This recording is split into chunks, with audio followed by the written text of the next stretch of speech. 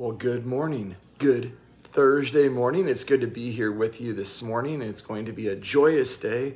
Uh, the weather's getting a little bit warmer, and it's a time of uh, being able to just be able to do things out as now more and more restrictions uh, are being lifted regarding COVID across the nation and uh, also in our area as well. So it's a, a beautiful, beautiful, joyful day. And I want to say thank you to Mr. Carver and also to Miss Paula, who is way down in Florida right now, uh, for leading us in our worship at home last night uh, a great worship at home experience and uh, also the many activities I've had. It was great yesterday too.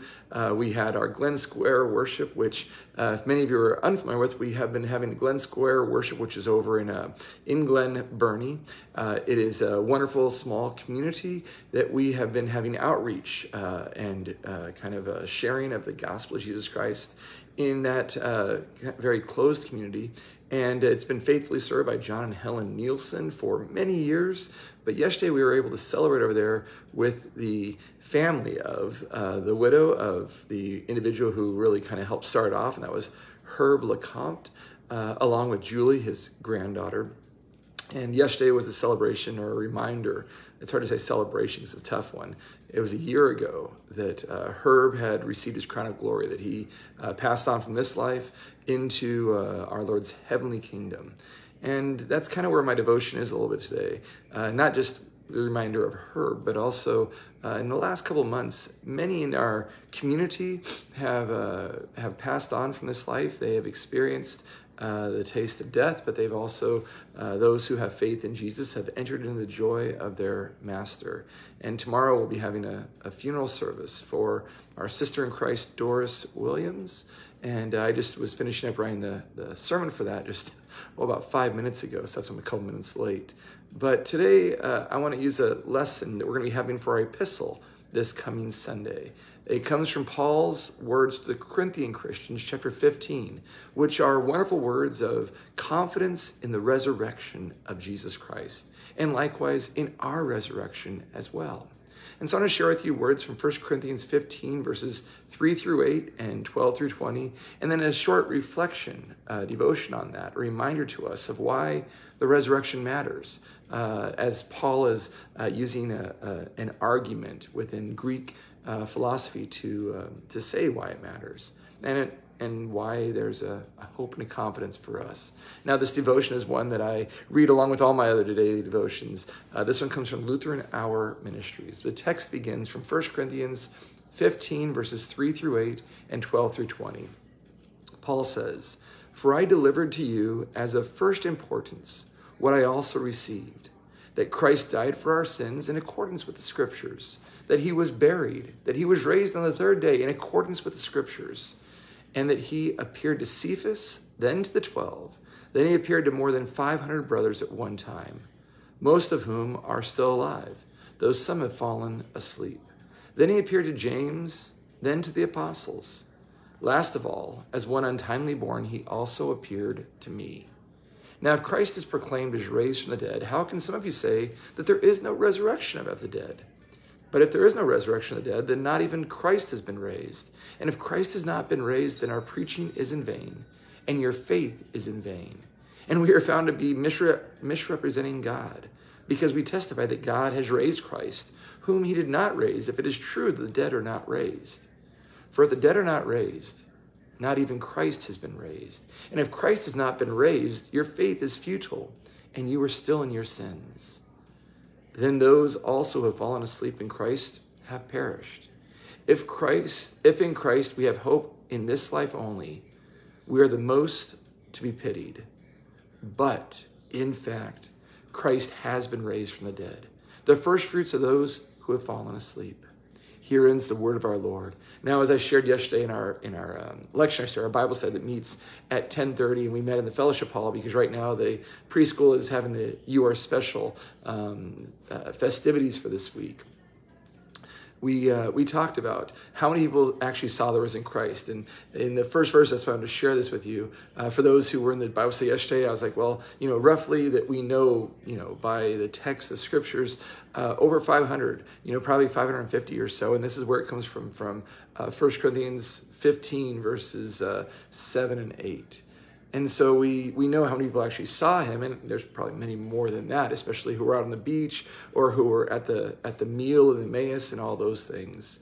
But what we have here is the encouragement that all these if propositions, if this, if this, if this, if none of this is true, if then we are the most to be pitied.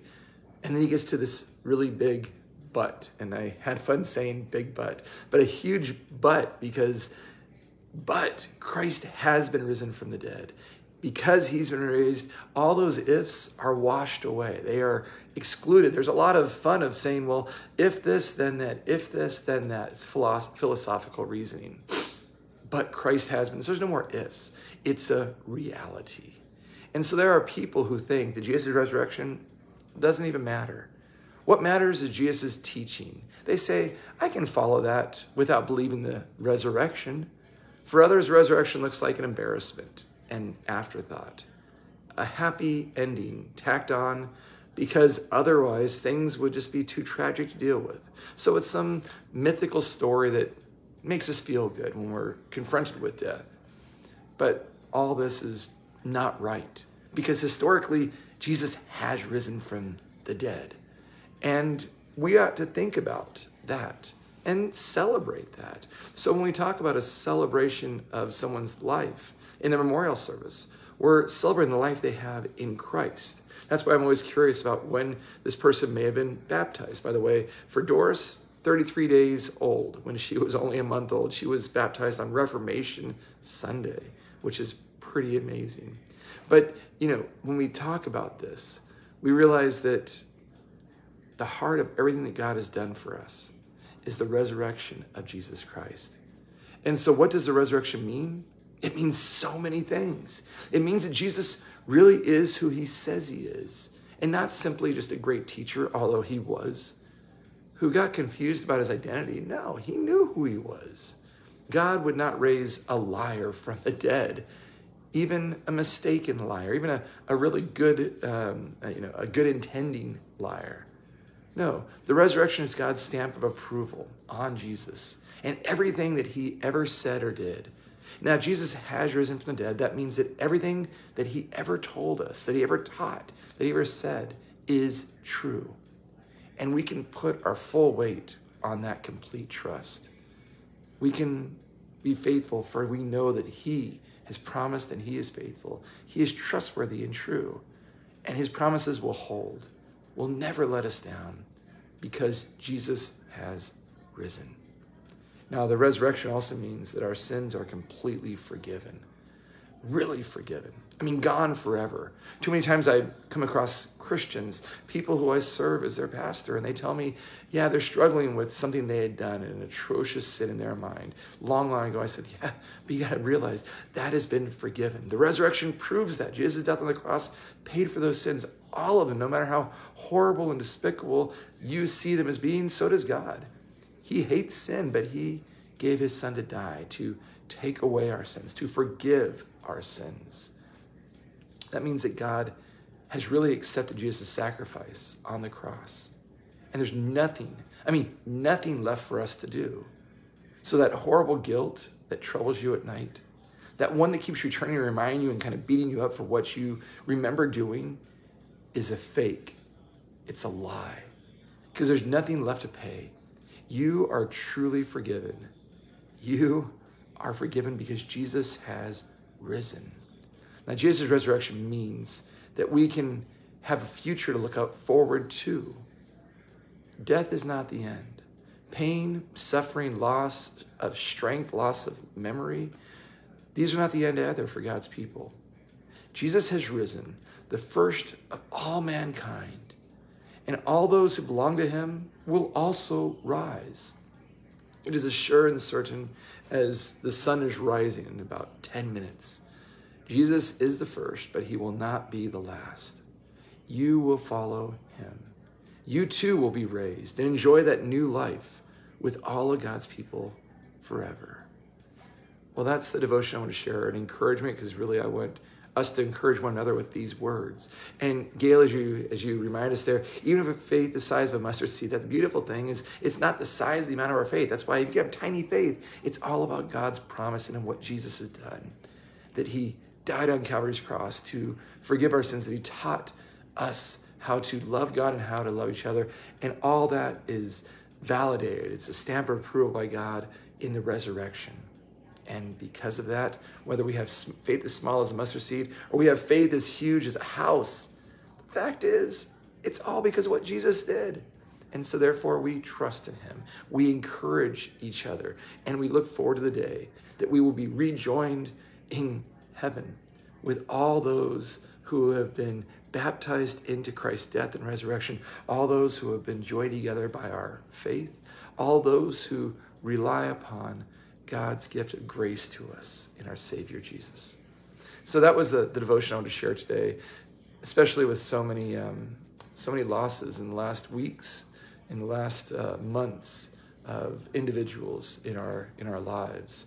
That we have comfort, that we have hope, that we have assurance, and that we can look forward with joy, knowing that death is no longer no longer an end.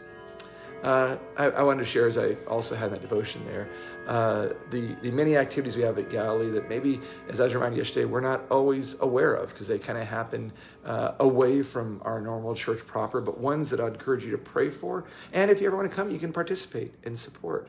One of those is the very long time ministry at Glen Square. Uh, COVID had put it, made us put a pause on that for a little bit, but uh, it has been back and it has been a joy as new faces and new souls are coming to hear the word. And uh, it's like our worship at home in the evenings where uh, we have our brother Chris Carver leading us in a, in a Bible study devotional uh, time on Wednesdays, we have our brother, Mr. John Nielsen. Uh, many of you, I hope, know John. Uh, you, he and his wife, Helen, are mainstays at our Saturday uh, evening service. She plays beautifully on the keyboard, and so that we're able to have a worship service there and proclaim the suffering, death, and resurrection of our Savior. Uh, so keep the ministries at Glen Square in your in our prayer in your prayers as we continue every Wednesday to be there. And I have the joy of of also joining them and celebrating with the saints there at Glen Square. And if you ever want to come and uh, support and be part of that community, we would love to have you. Uh, but with that all being said, I know this devotion is getting a little long. Let's close with just a, a time of prayer. Dear Father in heaven, we thank you for raising Jesus and that you will raise us also. Keep us in that faith, in that confidence, in that hope, so that as we live through this valley of the shadow of death, we can look forward to a much, much brighter tomorrow. Lord, bless all those who are in mourning, in loss, in grief, with your comfort and peace that can only be given through the resurrection of our Savior Jesus. So we ask this in his name. Amen. Well, thank you for joining me this morning for our uh, devotional time. And uh, we look forward to this weekend uh, joining together in worship, in prayer, in praise, in hope, and in confidence. So have a wonderful day. Know that I love you, and aloha.